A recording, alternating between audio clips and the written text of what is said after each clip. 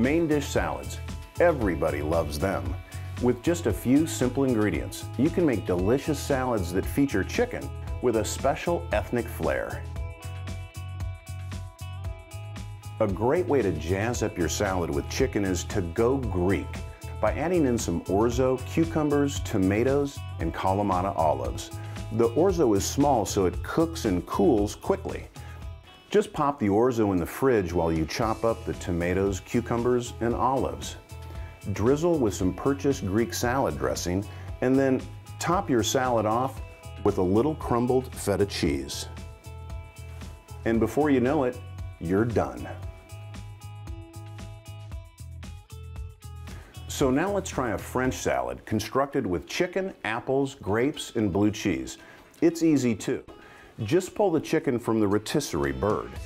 Chop it up as chunky or as fine as you'd like. Then add the chopped apples, grapes, and blue cheese.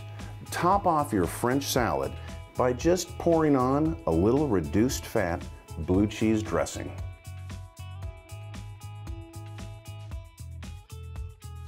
Another delicious option is to make an Asian salad using chicken, carrots, bok choy, and snap peas to make the colors of this healthy, crunchy salad come to life.